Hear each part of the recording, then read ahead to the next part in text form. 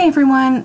So there seems to be a lot of confusion over how to install and use the new premium fonts that Silhouette has now offered in their store.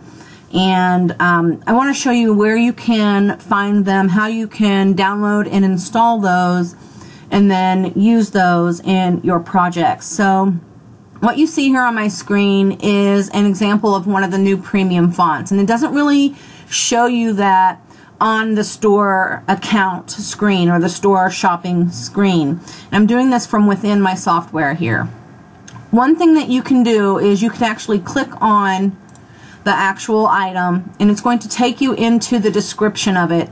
And you can see in bold red letters that the Silhouette um, company is telling you that this must be downloaded and installed manually. It's not going to work like some of their other fonts um, for example, the ones that start with ZP or PN, um, and, and things of, of that nature.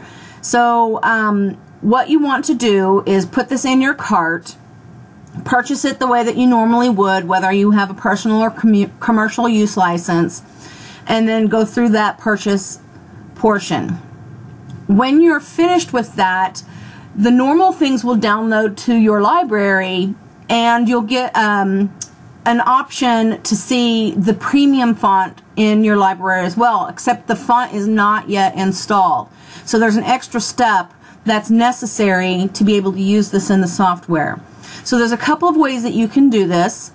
When you purchase a premium font, you will have a notification under this new bell icon. And it's going to show you your recent purchase includes downloadable content and you're going to click on that. And you can see that um, for whatever reason that little screen flashed and then went away. And it's just hidden behind other windows. So you'll look down at the bottom of your screen for the secondary window that popped up. And you can maximize this however you need. And then scroll through your content here looking for the font that you just purchased. Okay, so you can see that I've purchased this Happy Ocean font. And it gives you a box to check that says download. So you'll check that box, scroll back to the top of that list, and you have a button that says download now. So when you click download now, it's preparing your download and you should now have this window here that pops up that says, what do you want to do with this? Do you want to open this file? Or do you want to save this? Again, if you don't see this, if it happens to be hidden by another screen, just look down at the bottom of your screen here to see if there's perhaps something um, hiding it, okay?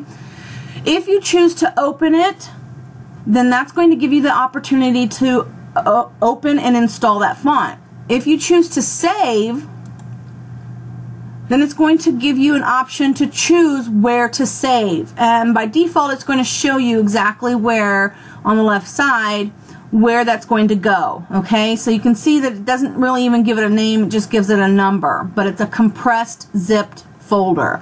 So this means that it's going to work just like you found a font on DaFont, where you have to extract it and then install the font. Okay, I'm going to cancel out of this.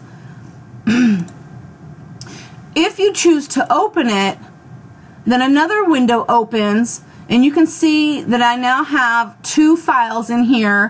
One is the actual font and then the license. Double click on the zip file or you can try to extract it. It's your choice on how you want to do that.